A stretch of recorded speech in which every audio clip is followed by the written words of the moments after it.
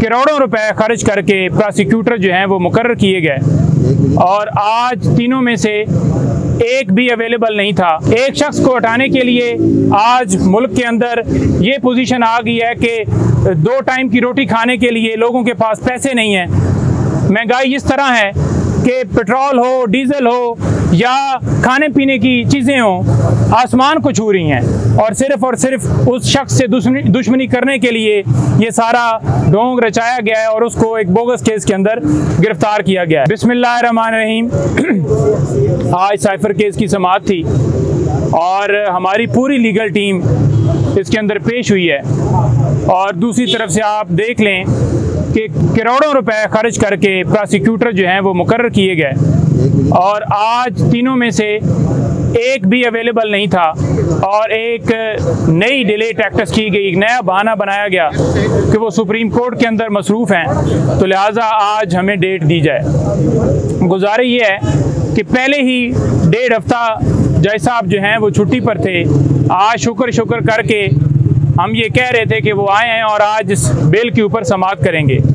बैसीत कौम, हमारे लिए शर्म की बात है कि अमेरिका से धमकी मिली और उस धमकी की सूरत में इमरान खान साहब की चलती फिरती हुकूमत को गिरा दिया गया और उसके बाद बजाय ये कि उस धमकी को जवाब दिया जाता, बजाय ये कि उनके जो उन्होंने साजिश की उसको रद्द किया जाता, आज इमरान खान साहब के ऊपर एक ऐसा ही उसी केस के अंदर एक झूठा केस बनाया गया जिसमें आज खान साहब को गिरफ़्तार किया गया है। गुजारे ये है कि वो शख्स जिसने आज़ाद मुल्क की बात की, जिसने आज़ाद खारजा पॉलिसी की बात की, वो शख्स जिसने गरीबों की बात की, वो शख्स जिसने मुस्लिम उम्मा की बात की, जिसने पूरी दुनिया में मुसलमानों का नाम रोशन किया, जिसने गरीबों की बात की, जिसने सेहत कार्ड फ्री वो सहूलत शुरू की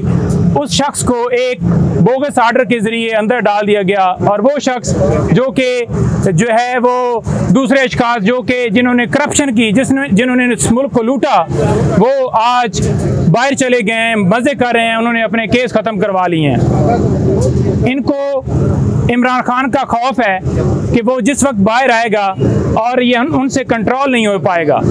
एक शख्स को हटाने के लिए आज मुल्क के अंदर ये पोजीशन आ गई है कि दो टाइम की रोटी खाने के लिए लोगों के पास पैसे नहीं हैं।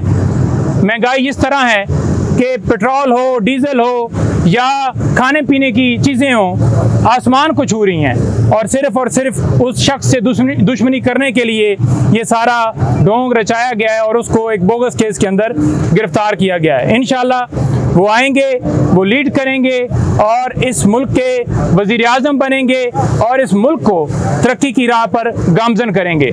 दूसरे नंबर पर यह बता दूँ कि इलेक्शन जो हैं, वो 90 डेज़ के अंदर होने चाहिए और सदर पाकिस्तान से हम मुतालबा करते हैं कि वो तारीख दें और अपनी आइनी जो ज़िम्मेदारी है, वो निभाएँ ताकि ये जो मुल्क के अंदर गैर यकीनी सूरत हाल पैदा हो चुकी है, इसका खात्मा हो और अवामी नुमाइंदा हुकूमत जो है, उसका इंतखब हो ताकि मुल्क जो है, तरक्की की राह पर गामजन हो सके। जी। कोई सवाल? समाज कब तक मुलतवी हो गई दोबारा कल समाप्त होगी या देखें ये जो समात है ये एक बजे के लिए हमने जो है वो इस्तदा की कि आप जो है एक बजे तक सुप्रीम कोर्ट में समात है। तो ये वहाँ से जब फारग होंगे तो आ जाएँ और इसके ऊपर आर्गूमेंट्स किए जाएँ। लेकिन ये एक बहाना बनाया गया है। बेसिकली आपको पता है कि तोशा खाना केस के अंदर भी जब अपील हमारी और सस्पेंशन हाई कोर्ट के अंदर पेंडिंग थी, उस टाइम के ऊपर भी ये कभी ये कहा गया कि पेट ख़राब है, कभी ये कहा गया कि तैयारी नहीं है, और कभी जज साहब जो हैं वो बीमार हैं। आज भी इसी तरह से एक बाना बनाया गया है। हम उम्मीद करते हैं कि जज साहब को इस दरख्वास्त को खारिज करना चाहिए और खान साहब को फेयर ट्रायल मिलना चाहिए। अगर आज समात मुलतवी की गई तो ये खुलम खुला आइन के ऊपर हमला होगा। फेयर ट्रायल हर इंसान का बुनियादी हक है जो कि आइन पाकिस्तान देता है और आज जो है उनकी बेल के ऊपर समात होनी चाहिए ताकि उनको जो है उनको इंसाफ फराम किया जाए। नहीं साहब ये बताइएगा कि इमरान खान के केस में खास तौर पर डिले टैक्टिक्स का इस्तेमाल क्यों किया जा रहा है? देखें ये डिले टैक्टिक्स का इस्तेमाल इसलिए किया जा रहा है कि ये बेसिकली निचोड़ रहे हैं हर केस को। हर केस के अंदर जितना मैक्सिमम ये कर सकते हैं कि 10 दिन 15 दिन 20 दिन 25 दिन 30 दिन, जितने गुजर सकें ये गुजारें, ताकि इमरान खान साहब की हिम्मत को तोड़ा जा सके। वो ये समझें कि मैं तो कभी भी बाहर नहीं आऊँगा। एक झूठे केस के अंदर मुझे जो है वो बेल नहीं मिल रही। तो इसका मतलब है कि मैं हार मान लूँ, इनके सामने बैत कर लूँ।